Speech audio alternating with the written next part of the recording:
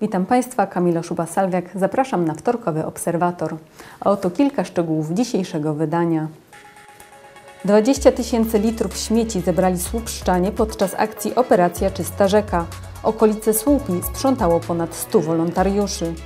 Trwa remont Miejskiej Biblioteki Publicznej w Słupsku. Prace w gmachu głównym potrwają do końca roku. Potem przeniosą się do miejsca animacji kultury. Włamanie do piwnicy udaremnione. Słupscy policjanci zatrzymali 18-letnią kobietę i 34-letniego mężczyznę mieszkujących po komórkach lokatorskich.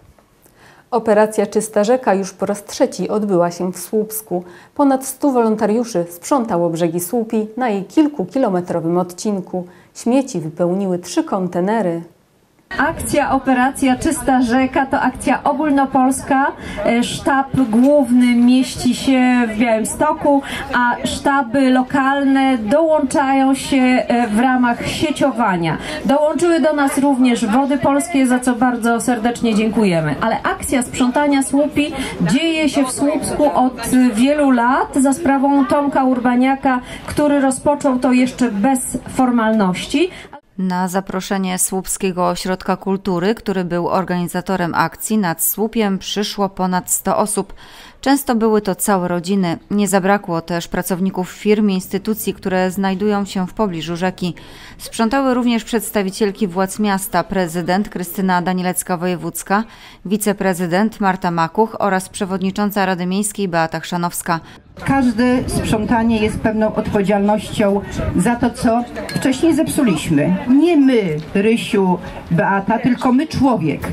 I ta odpowiedzialność niechaj będzie realizowana przez tych, którzy mają dzisiaj ochotę rzeczywiście pokazać tę, tę odpowiedzialność za ziemię. Słupia jest bardzo ważnym elementem nie tylko naszej przestrzeni, ale także tym elementem, miejscem, które nas kapitalnie integruje. Widzimy to szczególnie teraz, kiedy bulwary od roku już y, tętnią tu życiem, więc tym bardziej chcemy, żeby ta przestrzeń była piękna. Cieszę się niezmiernie, że jest nas dużo.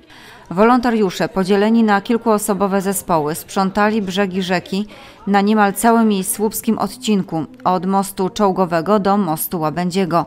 Podczas czterogodzinnej akcji w sumie zebrano ponad 20 tysięcy litrów śmieci. Tak dużo odpadków wypełniło trzy kontenery. Słupszczanie nad wodą wyrzucają głównie butelki, zarówno szklane, jak i plastikowe oraz puszki. To opakowania głównie po alkoholu, ale także po innych napojach. Ponadto zebrano mnóstwo kapsli i niedopałków, ale także dywan, umywalkę czy kalosze. Wolontariusze znajdowali również porzucone przy brzegu rzeki hulajnogi elektryczne. Niestety w tym roku do akcji nie włączyli się kajakarze, dlatego nie było możliwości wyjęcia śmieci z wody. W słupi wciąż więc na usunięcie czekają m.in. butelki, opony, a nawet meble. Organizatorzy zapowiedzieli, że o śmieciach w rzece poinformują spółkę Wody Polskie. To była już trzecia w Słupsku edycja ogólnopolskiej akcji Operacja Czysta Rzeka. Rok temu przy fatalnej pogodzie ponad 50 wolontariuszy zebrało trzy kontenery odpadków. Podczas pierwszej akcji śmieci wypełniły aż sześć kontenerów. Do końca roku ma się zakończyć remont głównego gmachu Miejskiej Biblioteki Publicznej w Słupsku. Potem inwestycja przeniesie się do przyległego budynku, czyli miejsca animacji kultury. Tam zmieni się wiele. To największy remont zabytkowego gmachu od kilkudziesięciu lat, a w zasadzie dwa niezależne od siebie remonty.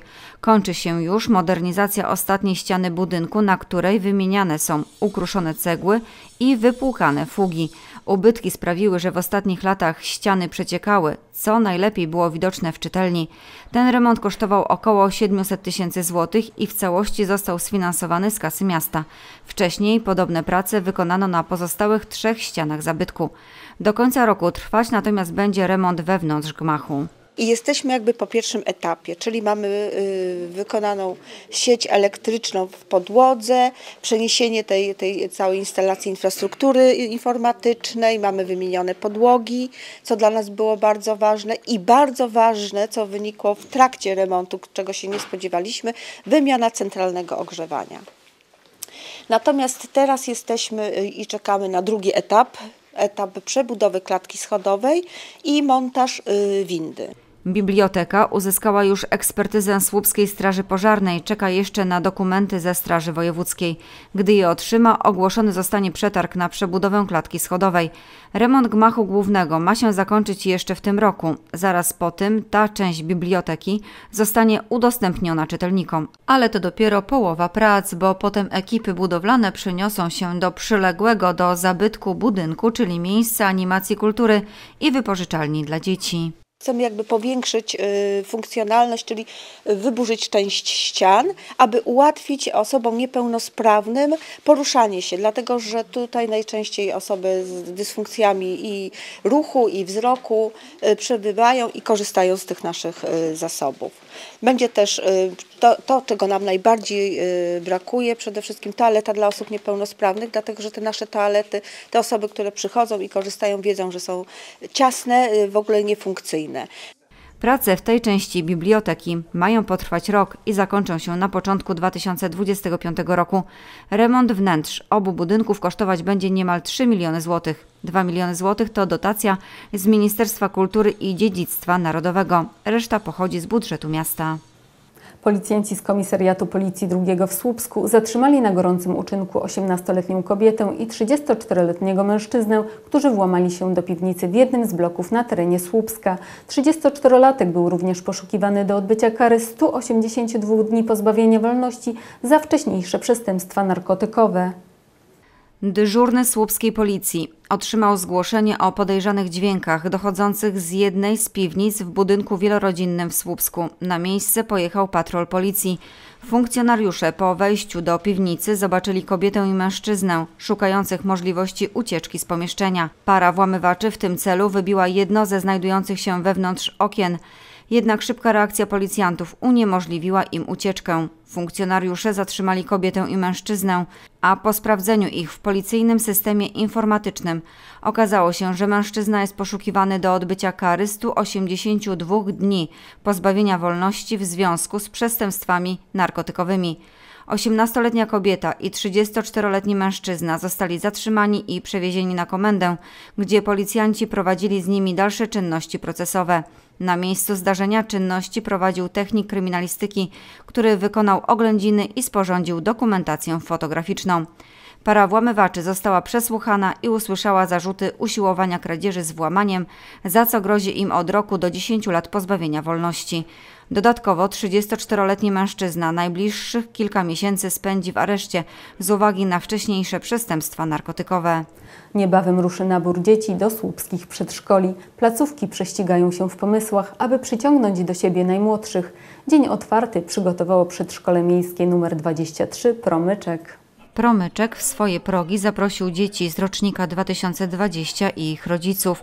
Mogli się oni zapoznać z ofertą placówki. W dniu otwartym zaprezentowano zajęcia, które przedszkole prowadzi na co dzień. Dzieci i ich rodzice mogli wziąć udział w grach oraz zabawach. Były także pokazy i animacje. Ponadto przedszkole pochwaliło się zajęciami dodatkowymi organizowanymi w placówce a wśród nich jest m.in. język angielski, taniec nowoczesny, język migowy, terapia pedagogiczna, zajęcia rytmiczne i zajęcia sensoryczne. Placówka w tym roku planuje przyjęcie 50 dzieci. Również inne słupskie przedszkola zachęcają przyszłych swoich podopiecznych do odwiedzin. Rekrutacja do słupskich przedszkoli ruszy 8 maja i potrwa do 19 maja. To jest czas, aby rodzice mogli zapoznać się z ofertą przedszkoli miejskich i wybrać placówkę dla swojej pociechy. Tą informacją kończymy dzisiejszy Obserwator, ale proszę zostać z nami, bo tuż po serwisie na naszej antenie aż dwie premiery. Program Okiem Obserwatora oraz piłkarskie wtorki z gryfem. Zachęcam do oglądania. Jutro spotka się z Państwem Małgorzata Maciejuk, a ja już dziękuję za uwagę i do zobaczenia.